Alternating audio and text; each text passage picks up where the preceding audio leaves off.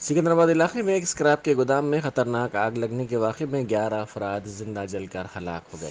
भोईगोड़े में वाक़ गोदाम में शॉर्ट सर्किट की वजह से चारशुबे की सुबह तकरीबन तीन बजे अचानक आग भड़क उठी, जिसमें 11 अफराद ज़िंदा जलकर हलाक हो गए। बताया जाता है कि गोदाम में 12 अफराद सो रहे थे। इनमें से एक शख्स ज़िंदा बचकर निकलने में कामयाब हुआ, जबकि 11 दीगर ज़िंदा जल गए। पुलिस और फायर ब्रिगेड को आग बुझाने के लिए कई घंटों का वक्त लगा। पाँच फायर ब्रिगेड्स की मदद से आग पर काबू पाया गया। हुकाम ने बताया कि इस वाक़े में 11 अफराद ज़िंदा जलकर बरसर मौका हलाक हो गए। इनमें से बाज़ आग में जल गए, जबकि बाज़ की दम घुटने से मौत हुई। हुकाम ने बताया कि तमाम मरने वाले बिहार के मजदूर थे। मरने वालों की शिनाख्त बिट्टू, सिकंदर, दामोदर, सत्येंद्र, चिंटू, दिनेश, राजेश, राजू, दीपक और पंकज के तौर पर की गई है। महलूकिन की उम्र 20 ता 25 बरस के दरमियान है। ये तमाम मजदूर इमारत की पहली मंजिल के दो कमरों में रहते थे। रीजनल फायर ऑफिसर पापैया ने बताया कि तकरीबन तीन बजकर पचपन मिनट पर फायर ऑफ़िस को इस बात की इतला मिली, जिसके फौरी बाद करीबी फायर स्टेशन के फायर ब्रिगेड्स को हिदायत दी गई कि वो मुकाम वाक़े पर पहुँच जाएँ। उन्होंने कहा कि पहली मंजिल को जाने के लिए गोल सीढ़ियाँ हैं। पहली मंजिल पर गोदाम के मालिक का दफ्तर भी है। निचली मंजिल पर स्लैब पर कई केबल वायर्स थे, जबकि बकिया पोर्शन शराब की काली बोतलों, कागजात और प्लास्टिक की बोतलों से भरा हुआ था। उन्होंने कहा कि फायर ब्रिगेड्स के एहलकारों को शटर तोड़कर अंदर दाखिल होना पड़ा। उन्होंने कहा कि काफ़ी जदोजहद के बाद आग पर काबू पाया गया। इसी दौरान governor doctor Tamilisai Soundararajan ने इस वाक़े पर गहरे दुख का इजहार किया। गवर्नर ने कहा कि उन्होंने राजभवन के अहदेदारों से इस ताल्लुक से मालूम हासिल की। वज़ीर अला चंद्रशेखर राव ने इस वाक़े पर गहरे दुख का इजहार किया। उन्होंने आतिजदगी में मरने वालों के ख़ानदानों के लिए फ़ीकस पाँच लाख रुपये एक्सग्रेशिया का ऐलान किया। वज़ीर अला ने चीफ सेक्रेटरी सोमेश कुमार को हिदायत दी कि वो इस वाक़े में हलाक बिहार के मजदूरों की लाशों को उनके आबाई मकाम वापसी के इंतज़ाम करें। वज़ीर अली की हिदायत के साथ ही चीफ सेक्रेटरी सोमेश कुमार के साथ साथ वज़ीर अफजाइश मवेशियाँ Talasani Srinivas Yadav, commissioner police Hyderabad, C V Anand मुकाम वाक़े पर पहुँच गए। श्रीनिवास यादव ने इस वाक़े के महलूकिन के गमजदा अरकान ख़ानदान से ताज़ियत का इजहार किया। सोमेश कुमार ने इस वाक़े को अफसोसनाक करार दिया। कमिश्नर पुलिस हैदराबाद ने बताया कि इब्तदाई जांच में पता चला है कि बरखी के स्विच बोर्ड में शॉर्ट सर्किट इस वाक़े की वजह है उन्होंने मीडिया को बताया कि इस गोदाम में आग पर काबू पाने के लिए कोई मुनासिब इकदाम नहीं किए गए थे మరి ఎంత ప్రయత్నించినా కానీ ఒక పదకొండు మంది ప్రాణాలు కోల్పోవడం జరిగింది బట్ తీసుకోవాల్సినటువంటి ప్రికాషన్స్ జాగ్రత్తలు వెంట వెను వెంటనే చేసినటువంటి కూడా మరి మీ అందరూ చూసుకోవచ్చు ఇవన్నీ జరిగినప్పటికీ సరే ఆ ఫైర్ యాక్సిడెంట్ జరగడం రెండోది షార్ట్ సర్క్యూట్ అయింది అనేటువంటి ఒక అనుమానం ఉన్నది అనేటువంటి విషయం అధికారులు చెప్పడం జరిగింది. ఏదైనప్పటికీ ఒక ఎంక్వైరీ చేయడం జరుగుతుంది. మరి దీని మీద ఏ విధమైనటువంటి పరిస్థితుల్లో ఈ షార్ట్ సర్క్యూట్ జరిగిందా లేకపోతే ఇంకా ఏ విధంగా జరిగిందో ఒకసారి ఎంక్వైరీలో అన్ని విషయాలు బయటకు తర్వాత మరి ప్రభుత్వం అన్ని విధాలుగా చర్యలు తీసుకోవడం జరుగుతుంది. రెండవది చనిపోయినటువంటి మరి ఎవరైతే బాధితులుందో వారికి ప్రగాఢ సానుభూతి తెలియజేస్తూ తప్పకుండా మరి భగవంతుడు ఆ కుటుంబాన్ని ధైర్యాన్ని ఇవ్వాలని చెప్పి నేను కోరుతా ఉన్నాను. బట్ ఇక్కడ ఒక స్క్రాప్కు సంబంధించినటువంటిది ఈ పక్కన అన్ని గోడౌన్స్ ఉన్నాయి ఈ ప్రాంతంలో. ఎప్పటి నుంచో దగ్గర దగ్గర నలభై యాభై సంవత్సరాల నుంచి గోడౌన్స్ ఈ ప్రాంతంలో ఉన్నాయి.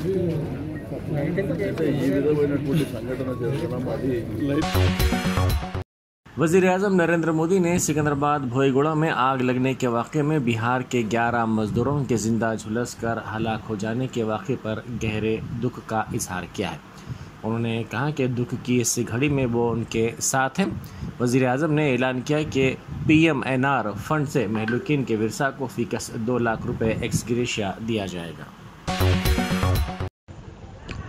वज़ीर दाखिला मोहम्मद महमूद अली ने सिकंदराबाद इलाके के भोईगोड़ा के गोदाम में पेश आए आग लगने के वाक़े में 11 अफराद की मौत पर गहरे दुख का इजहार किया। उन्होंने आज मुकाम वाक़े का मुआयना किया। इस मौके पर मीडिया से बात करते हुए उन्होंने महलुकिन के अरकान ख़ानदान को हुकूमत की जानब से फ़ीकस पाँच लाख रुपये एग्जग्रीशा फराहम करने का ऐलान किया और कहा कि इनकी नाशों को हुकूमत की निगरानी में पोस्टमार्टम के बाद घरों तक पहुँचाया जाएगा। आज गोयागुड़ा में एक गोडाउन था, जो स्क्रैप गोडाउन था। आज उसमें स्क्रैप गोडाउन में माल भी बहुत ज़्यादा था। वहाँ पर रात में जो है आग लग गई। ये बहुत हमारे लिए अफसोस की बात है। वो भयानक आग की वजह से हमारे जो बिहारी भाई है, ग्यारह भाई देहांत हो गए। एक आदमी जो कम बच्चा था। किसी तरह विंडो में से कूद के बच गया। और जो मरने पर हमें बहुत दुख का इजहार करते हैं और बहुत यकीनन, चाहे वो बिहारी हो, तेलंगाना वाले हो, जैसा हमारी जान होती है सभी की जान होती है। जान इंसान की जाती है तो बहुत दुख की बात है। हमें भी बहुत दुख है। सीएम साहब को भी जब में आई बात तो अब जो बोलता है होने के बाद तो फाइव लाख रुपये एग्रेशन दिया गया है। और उनको भिजाने के लिए फ़्लाइट के ज़रिए आइडेंटिफाई किया गया। छः आदमी की आइडेंटिफाई हो चुकी है उनकी की। मंडल की बाकी पाँच लोगों की आइडेंटिफाई होना है। होने के बाद तो तमाम लोगों को वहाँ भिजा दिया जाएगा। बट नेक्स्ट ऐसा एक्सीडेंट ना हो उसके लिए प्रिकॉशन लेने के लिए शाम में चार बजे एक मीटिंग बुलाई गई है जिसमें पूरा म्यूनसिपल डिपार्टमेंट फायर डिपार्टमेंट और पुलिस डिपार्टमेंट के ताउन से तमाम ऑफिसरों से डिस्कस किया किया जाएगा। और जहाँ पर भी रेजिडेंशियल जोन में ऐसे उड़ान चल रहे यकीनन विदाउट परमिशन उसे बंद किया जाएगा। कोशिश की जाएगी कि उसमें ऐसी तरीके से प्रिकॉशन लिया जाए कि रात में कोई लेबर वहाँ पर ना रहे और उसके फायर के लिए जो भी फायर के रूल्स होते हैं, उसको जो फॉलो करेंगे और वो हटके रहेंगे तो ज़रूर उन्हें काम करने का मौका दिया जाएगा। जो इलीगल काम करते हैं, जानवरों पर कानूनी शिकंजा करते हुए उन्हें बंद किया जाएगा, जिसकी वजह से किसी का जानी ना हो सके। उसके लिए हम ज़रूर हमारा डिपार्टमेंट और हमारे जो भी डिपार्टमेंट है, बहुत अच्छी तरीके से काम कर रहे हैं, चाहे पुलिस डिपार्टमेंट हो फायर डिपार्टमेंट हो जीएचएमसी डिपार्टमेंट हो। अब यहाँ पर लोग जीने के लिए जब बताते हैं तो उसका थोड़ा सा रहता है। नहीं नहीं साहब कुछ नहीं रहता होते कभी कभी माल नहीं बिकता, या ऑर्डर बड़ा आ जाता, गोडाउन में जमा कर लेते, उसकी वजह से ऐसे एक्सीडेंट होते हैं। उसका बहुत दुख है हमें भी। हम ज़रूर उन बिहारी भाइयों की जो भी मदद हो सकी उनकी फैमिली की ज़रूर करेंगे। और नेक्स्ट टाइम इस तरह नहीं होने के लिए हमारे तमाम अहदेदारों को हम ज़रूर हिदायत देंगे कि जहाँ पर भी ऐसे गोडाउन है वहाँ ज़रूर प्रिकॉशन लीजिए ताकि आइंदा ऐसा कोई हादसा न हो क्योंकि समर का सीज़न है समर में उमूमन आग लगती है। इसके लिए जितना हो सका हम प्रिकॉशन लेंगे। लोगों की जान की हिफाजत करना हमारी ज़िम्मेदारी है। ज़रूर हम उसके लिए जो हो सकता है वो ज़रूर करेंगे थैंक यू सदर पीसीसी रेवंत रेड्डी ने बीजेपी पर वज़ीर अला चंद्रशेखर राव की लूटमार में ताउन का इल्ज़ाम लगाया। उन्होंने कहा कि मरकज़ी और रियासती हुकूमतें तेलंगाना के अवाम को धोखा दे रही हैं। रेवंत रेड्डी ने कहा कि अनाज और सिंगारनी कोयला कानों की खरीदारी के मामले में रियासत के साथ मरकज़ की जानब से नाइंसाफ़ी की जा रही है।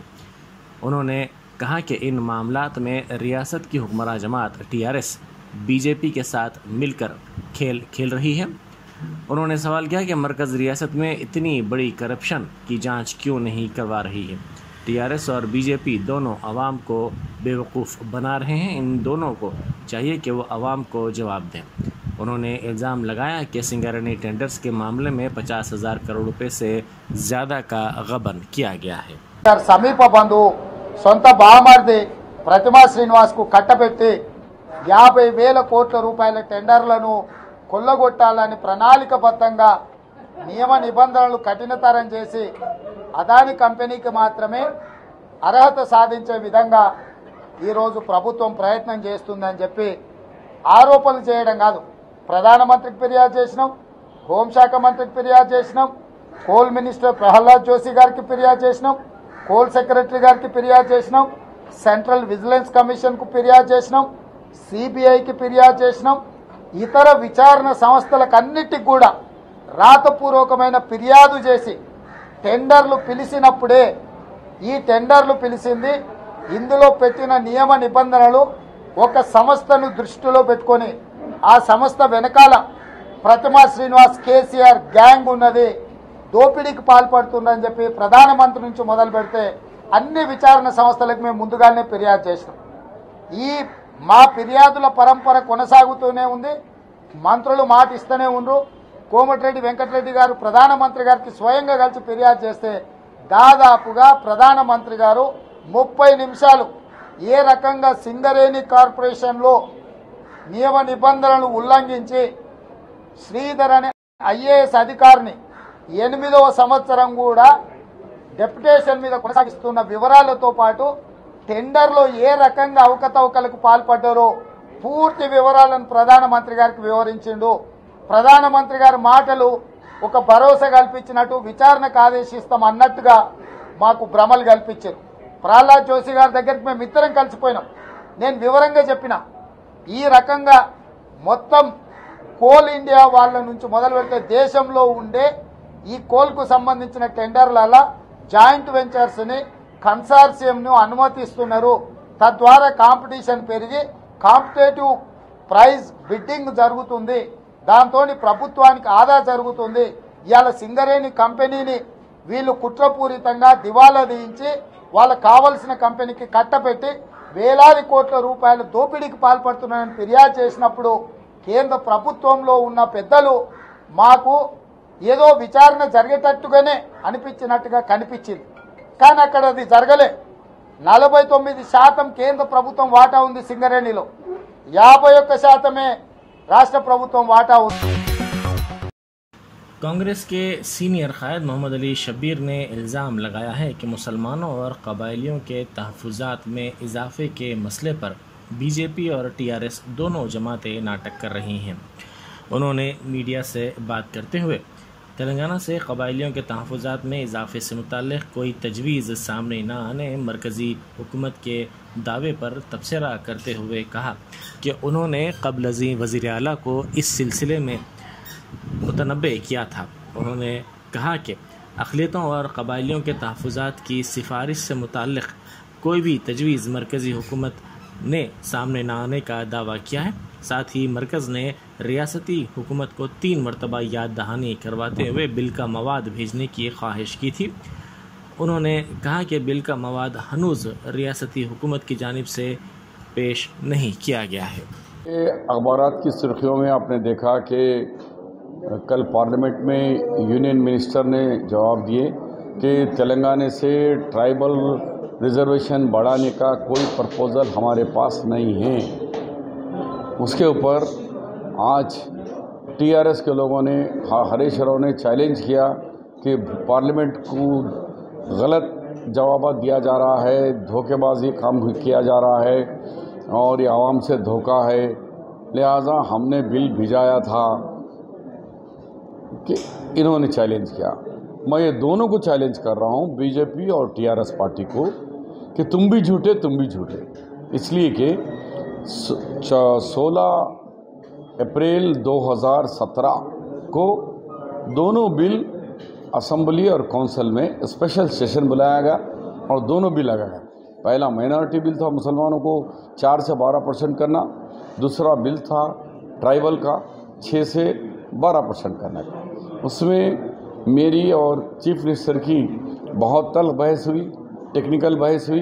हमने कहा कि दोनों बिल में पूरे नक़ायद से भरी हुई है, ये दोनों वापस आ जाएँगे। आप इसको तरमीम करके भिजाओ उन्होंने कहा कि नहीं नहीं नहीं, मुझे भी मालूम हम वापस आते, लेकिन हम ख़तार में ठहर जाएँगे जाके।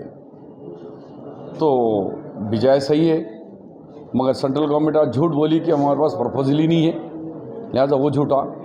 उसके बाद सेंट्रल गवर्नमेंट ने मुसलसिल तीन रिमाइंडर भिजाई कि reminder number one two three के आप हमारे को लेटर तो भिजाए है बिल पर बिल के साथ कुछ भी नहीं है उसका मटेरियल आप उसका कंटेंट भिजाओ। इंदिरा साहनी जजमेंट वन बयानों के अंदर ये कहा गया कि 50 से रिजर्वेशन आगे नहीं बढ़ना है। तो फिर ये रिजर्वेशन कैसे हम बढ़ाएँ? उसका कारण क्या है? उसका उतना इम्पोर्टेंस क्या है? उसके लिए चाहे वो मुसलमानों का हो, चाहे वो ट्राइबल का हो आप हमारे को कंटेंट भिजाओ। तीन रिमाइंडर का भी तेलंगाना हुकूमत जवाब नहीं दी। तो इससे ज़ाहिर हुआ कि ये भी चोर है, वो भी चोर है। दोनों भी मुसलमानों और ट्राइबल के साथ नाइंसाफ़ी करने के लिए दोनों के दोनों ड्रामाबाज ये ड्रामा कर रहे हैं, उन पर ये डाल रहे हैं, उन पर ये डाल रहे हैं। मैं इसलिए मैं दोनों को आपके ज़रिए चैलेंज कर रहा हूँ तो मैं तमाम डॉक्यूमेंट्स के साथ आता हूँ और सीएम को भी लेटर लिखा। और बीजेपी के सेंट्रल मिनिस्टर को किशन रेड्डी को भी लिखा। इसीलिए मैं किशन रेड्डी या बीजेपी के सदा कांग्रेस के सीनियर कायद और रुकन पार्लियामेंट कोमट रेड्डी वेंकट रेड्डी ने सवाल किया कि वज़ीर अला चंद्रशेखर राव को पीके की क्यों ज़रूरत पड़ी, जबकि वो ये कह रहे हैं कि आने वाले इंतबात में रियासत की हुक्मरान जमात टी आर एस एक सौ पाँच नशस्तों पर कामयाबी हासिल करेगी। कोमट रेड्डी ने दिल्ली में सदर पीसीसी रेवंत रेड्डी के साथ मीडिया से बात करते हुए इल्ज़ाम लगाया कि के को शिकस्त का खदशा है। इसीलिए वो पीके की खिदमत हासिल कर रहे हैं। उन्होंने कहा कि रियासत काफ़ी मखरूज हो गई है। उन्होंने मरकज़ की जानब से रियासत से धान की ख़रीदारी के मसले पर रियासत से नाइंसाफ़ी का भी इल्ज़ाम लगाया। उन्होंने कहा कि अनाज की ख़रीदारी में ताख़ीर की जा रही है, जिसकी वजह से कई किसानों की मौत हो गई है उन्होंने मुतालबा किया कि खाद की कीमतों में कमी की जाए क्योंकि खाद की कीमतों में इजाफा करते हुए किसानों को मकरूज बनाया जा रहा है రెవెన్యూ సెక్రటరీ పంపి మీరు సోలిసిటర్ కోర్టులో మీరు దీన్ని పర్సూ చేయండి అని ప్రైమ్ మినిస్టర్ ఆఫీస్కి వెళ్ళి అక్కడికి వచ్చింది నాకు ఒక కాపీ వచ్చింది సార్ సీసీఎల్ఏ రెవెన్యూ సెక్రటరీ ఆయనే ఉన్నప్పుడు ఆయన ఎట్లా పర్సూ చేస్తాడు ఆఖరి స్పోర్ట్స్ శాఖను కూడా వదిలిపెడతలేడు ఆయన ఈ బిల్డర్స్ సంబంధించిన రేరా కమిషనర్ ఫైల్ ఎంత ఘోరం అంటే ఏదన్నా హైరైజ్ బిల్డింగ్ పర్మిషన్ కావాలని ఆయనకు పదో ఇరవై కోట్లు ఆ రోజు ముడితే సంతకాలు అయితే సార్. మీరు కొత్తగా ఐఏఎస్ ఆఫీసర్ల మీద కంట్రోల్ కానీ ఒకటి పెట్టింది కదా మీరు ఆ విధంగా ఆయనను వాపసు తీసుకోండి. ఆంధ్రప్రదేశ్ కూడా పంపొద్దు. ఆయనకు ఎక్కడ డ్యూటీ చేయకుండా ఢిల్లీలో రిపోర్ట్ చేయాలని అదొక కాంప్లైంట్ చేశాను. ఇకపోతే నయని విషయంలో చెప్పాను క్లియర్గా.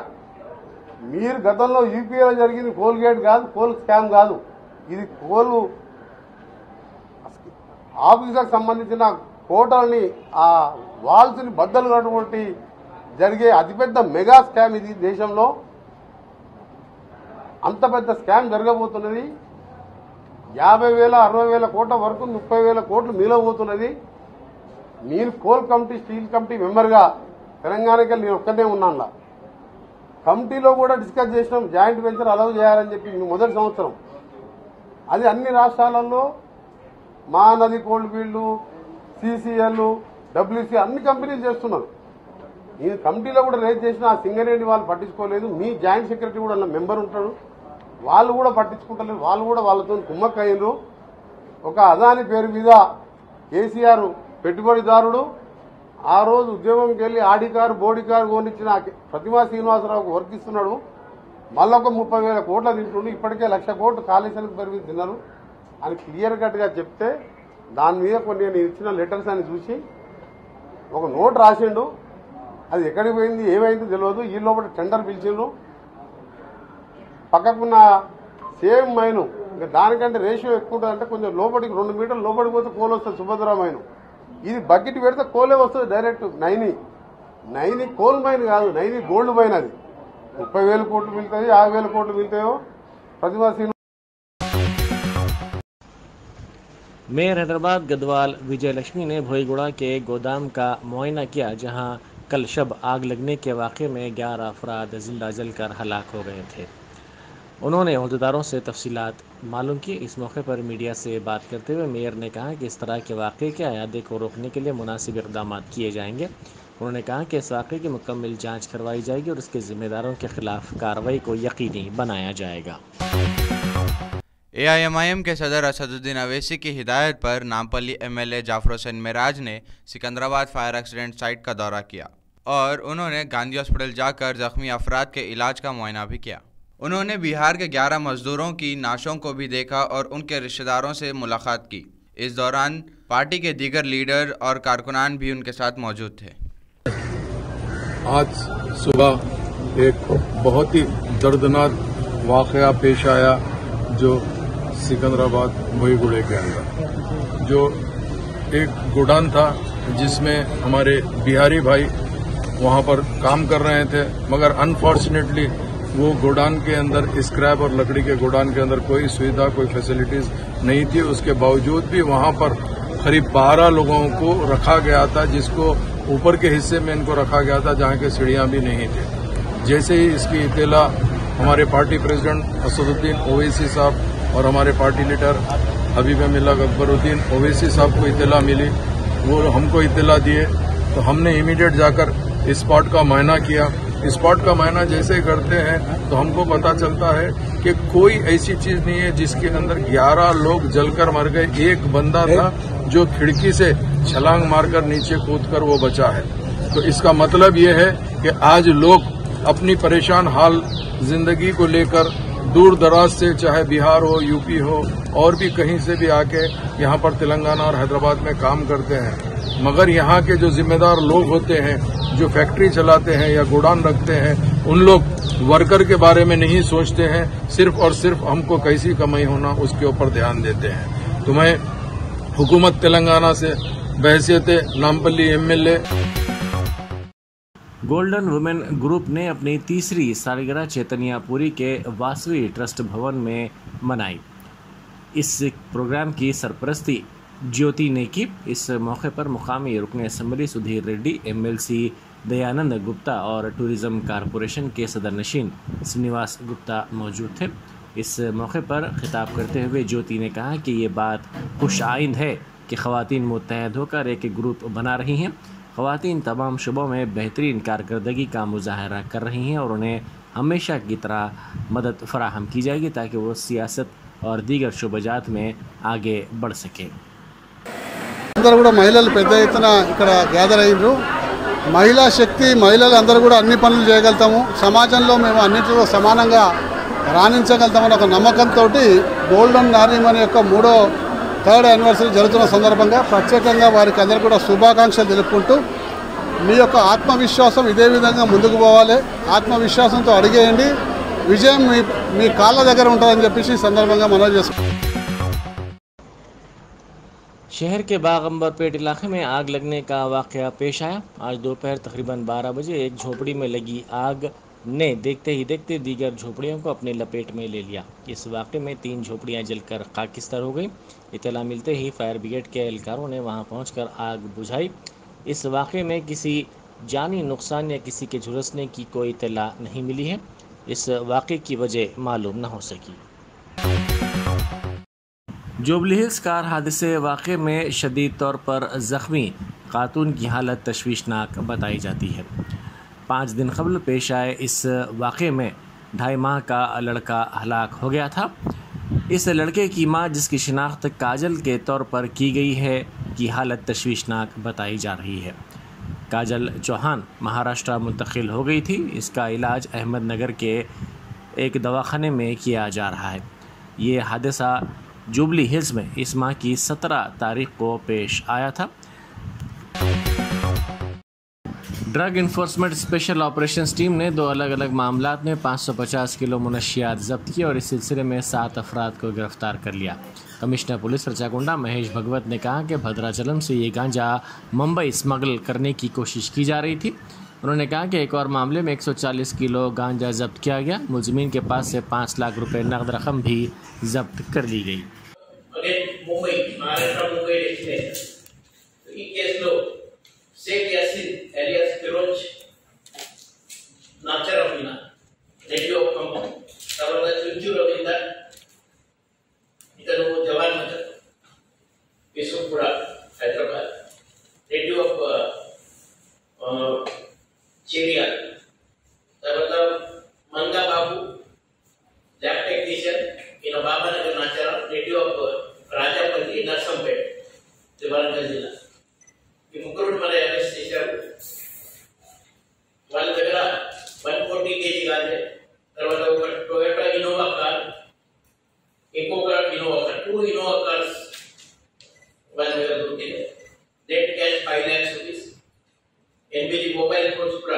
కూడా మనకు దొరికింది ఈ కేసులో ఇవి సప్లై చేస్తున్నారు?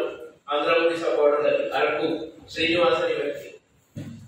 తర్వాత మహారాష్ట్ర ముంబైలో మజీద్ అని మజీద్ ఎలియస్ బాబు ఎవరు ఇక అన్ని పర్చేజ్ చేస్తున్నారు. అతను receiver so supplier and receiver అని వాళ్ళని అరెస్ట్ చేస్తూ ఉంటుంది ఈ కేసులో. ఈ కేసులో ఈ ప్రధాన నిందితుడు షేక్ యాసిన్ అలీ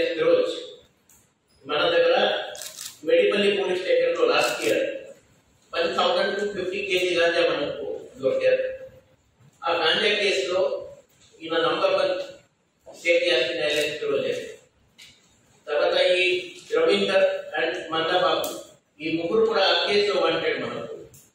ఆ రోజు కూడా మన మీడియా మిత్రులను కొంతమంది అడిగారు పోలీస్ వాళ్ళు ఓన్లీ మధ్యవర్తిని అరెస్ట్ చేస్తున్నారు.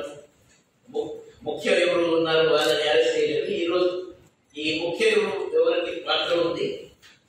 वायु नहीं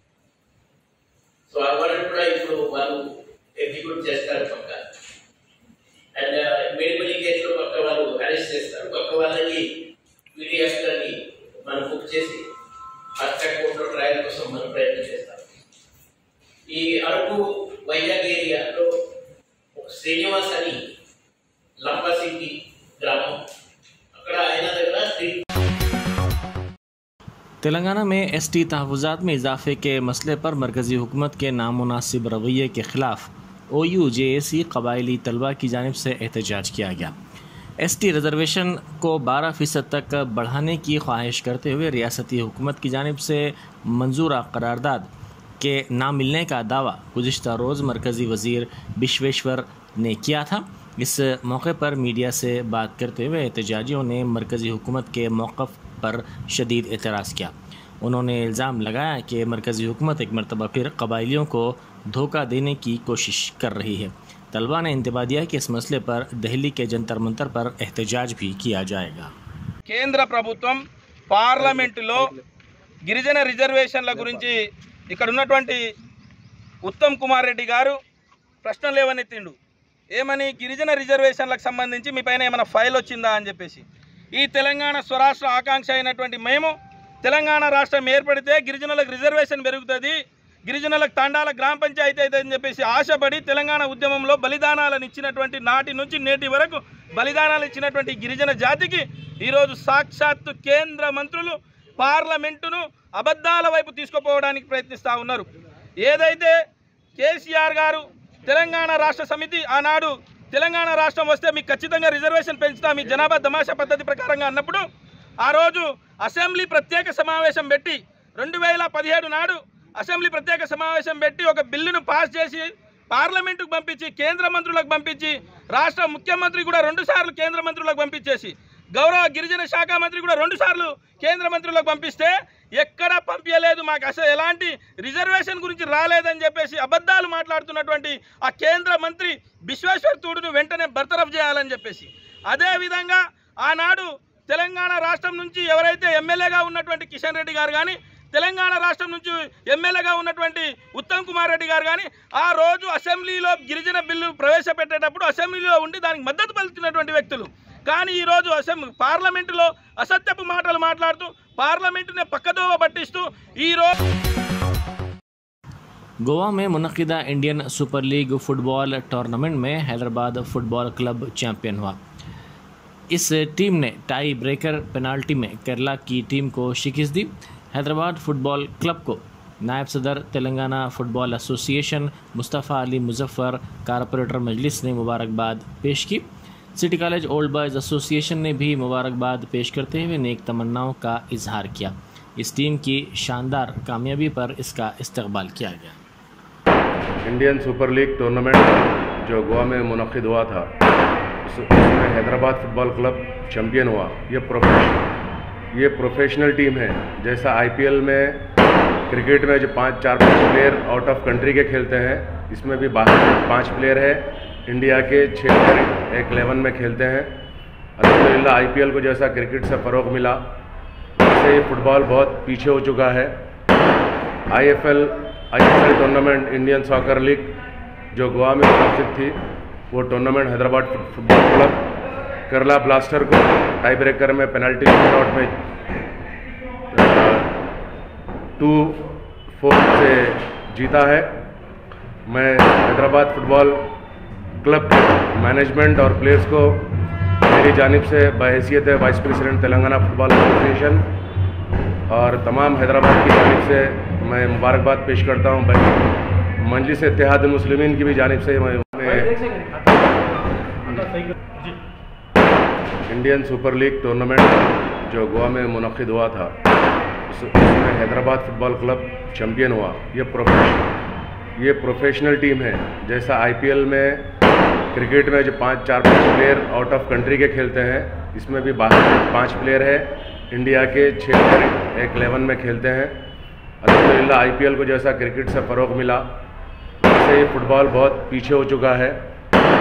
I F L I F L tournament Indian soccer league जो गोवा में उपस्थित थी, वो tournament Hyderabad football club Kerala blaster को टाई ब्रेकर में पेनल्टी शॉट में टू फोर से जीता है। मैं हैदराबाद फुटबॉल क्लब मैनेजमेंट और प्लेयर्स को मेरी जानब से बहसीत है, vice president Telangana football association. और तमाम हैदराबाद की जानब से मैं मुबारकबाद पेश करता हूँ। मजलिस इतिहाद मुस्लिमीन की भी जानब से मैं मुबारकबाद पेश करता हूँ। टीम और टीम के इंतज़ामिया को। ये हैदराबाद इन लोग गोवा में इसका विनिंग सेलिब्रेशन करना चाह रहे थे, क्योंकि हैदराबाद में फ़ुटबॉल की उतनी फॉलोअर्स नहीं है फुटबॉल के, इस वजह से, लेकिन मैंने ज़िम्मेदारी लेके हैदराबाद बुला के उनका विनिंग सेलिब्रेशन यहाँ पे किया है। स्पॉन्सर सी फुटबॉल एसोसिएशन की जानब से ये किया गया है। मैं सी फुटबॉल एसोसिएशन का सेक्रेटरी भी हूँ। मैं तमाम मेरे चाहने वालों को फुटबॉल के, चाहने वालों को फुटबॉल लवर्स का शुक्रिया अदा करता हूँ कि काफ़ी तादाद में आके इस सेलिब्रेशन को कामयाब करें। शुक्रिया।